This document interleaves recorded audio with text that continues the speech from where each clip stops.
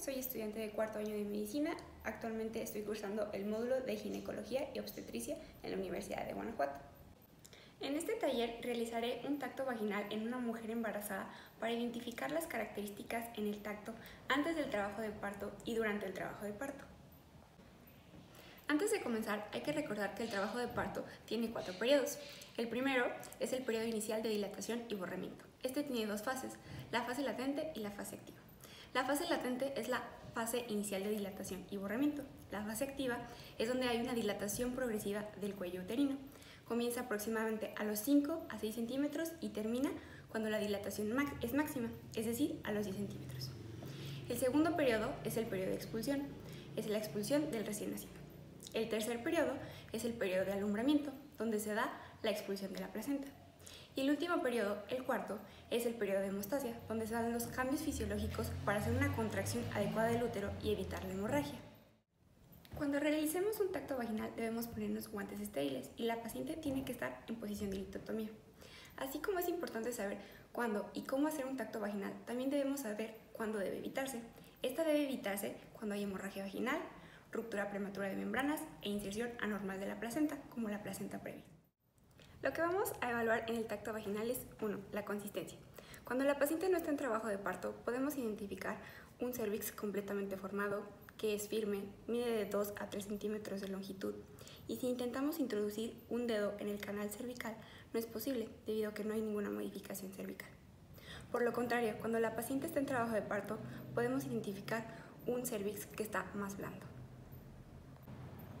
Cuando no hay un borramiento significativo del cervix, también podemos identificar la posición del cervix, es decir, su relación que tiene con la vagina, si está anterior, medio o posterior. Cuando comienza el trabajo de parto, se da un patrón de contracciones que son regulares en su frecuencia e intensidad. Estas van a provocar cambios cervicales. Los principales es borramiento e dilatación. El borramiento es el acortamiento del cervix. Este se manifiesta clínicamente porque su longitud disminuye de 2 a 3 centímetros a ser un orificio delgado. El borramiento se expresa en porcentaje, es decir, 20%, 80%, 100%.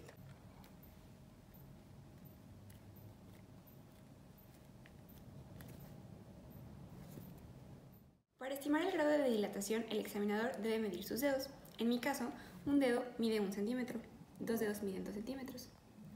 Estos serían 4 centímetros, estos 6, estos 8 y estos 10, cuando es la dilatación completa.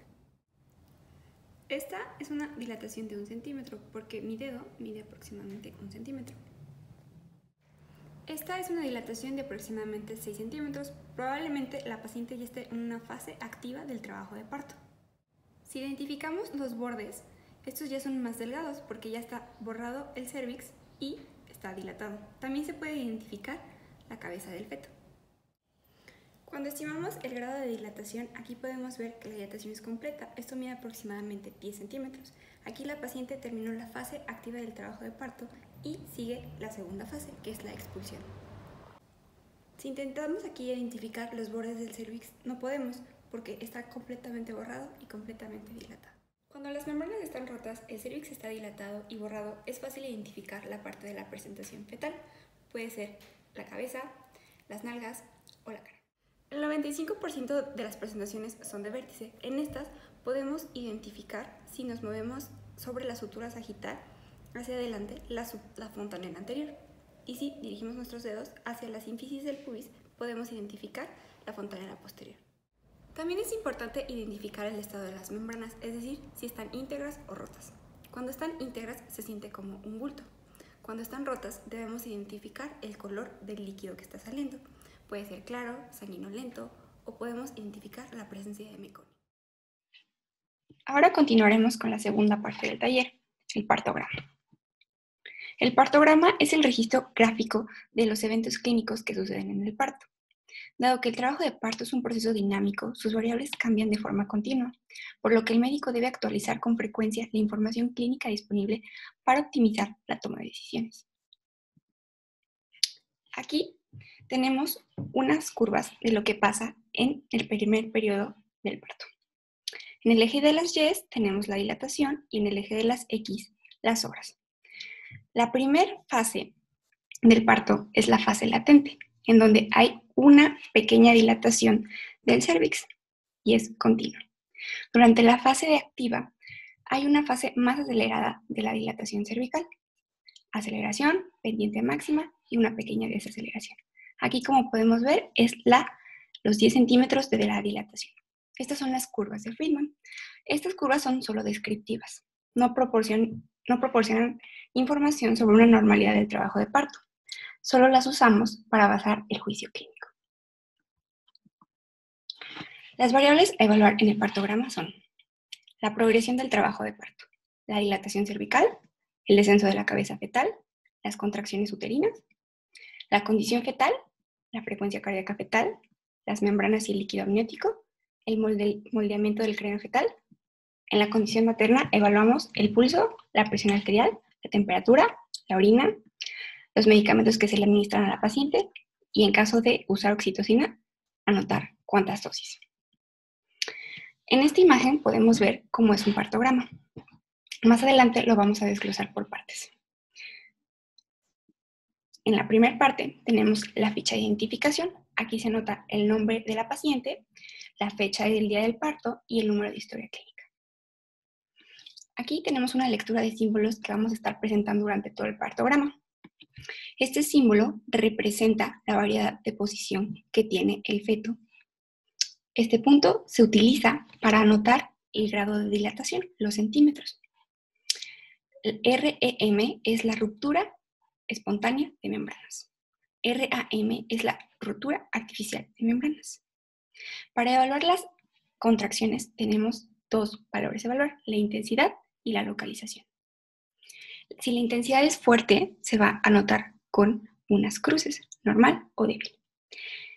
Si la paciente refiere dolor, tenemos que anotar dónde es el dolor, si es suprapúbico o si es un dolor sacro.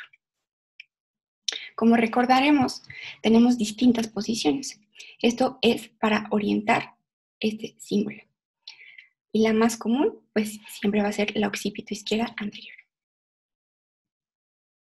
En la parte inferior del partograma tenemos esta tabla, en donde vamos a evaluar la hora, la posición materna, la tensión arterial, el pulso materno, la frecuencia cardíaca fetal, la duración de las contracciones, la frecuencia, el dolor localizable y su intensidad. Aquí se pone la hora y se evalúan todos estos parámetros. En la frecuencia cardíaca fetal, pues tenemos que evaluarla siempre. Hay que identificar antes los factores de riesgo que hay, como hemorragia vaginal, dolor abdominal, temperatura mayor de 38 grados, ruptura prematura de membranas, si la paciente tiene hipertensión arterial, si el feto tiene un patrón de frecuencia cardíaca fetal no tranquilizador. Si existe alguno de estos factores de riesgo, tenemos que determinar y anotar la frecuencia cardíaca fetal cada 15 minutos en la fase activa y cada 5 minutos en el periodo de expulsión. Si no hay estos factores de riesgo, se tiene que determinar y anotar la frecuencia cardíaca fetal cada 30 minutos en la fase activa y cada 15 minutos en el periodo de expulsión. Aquí se va a poner con un punto la frecuencia cardíaca fetal que se esté evaluando a lo largo del tiempo. La posición materna se determina con esta leyenda, si está en lateral derecho, izquierdo, dorsal, semisentada, sentada o si está parando, parada o caminando. Las contracciones también se evalúan. Se evalúan cada media hora, se palpa el número de contracciones en 10 minutos y su duración en segundos. Aquí se evalúa con esta leyenda. También se anota las unidades que se usan de oxitocina por volumen de líquido de solución que se esté administrando. Se evalúa en gotas por minuto y cada 30 minutos cuando se utilice. Ahora aquí recordemos que la parte superior del partograma tiene esta tabla en donde vamos a evaluar en el eje de las Y la dilatación cervical, en el eje de las X la hora de registro. De este lado tenemos los grados de descenso y de estos hay dos, los planos de Hodge y los planos de Lee. Esta línea es la línea basal. A partir de esta línea, que son los 4 centímetros de dilatación cervical, se va a dibujar una curva de alerta que más adelante vamos a ver. Entonces comienza a los 4 centímetros. El grado de descenso. El grado de descenso se puede evaluar por las estaciones Lee, en donde la estación cero es a nivel de las espinas ciáticas. Esto quiere decir que el feto está encajado. Por arriba de las espinas ciáticas se utilizan números negativos, menos 1, menos 2, menos 3, menos 4 y menos 5. Por debajo de la línea 0 están los números positivos de más 1 a más 5. Cuando se va acercando a más 5, nosotros podemos ver la cabeza del feto en el introito vaginal.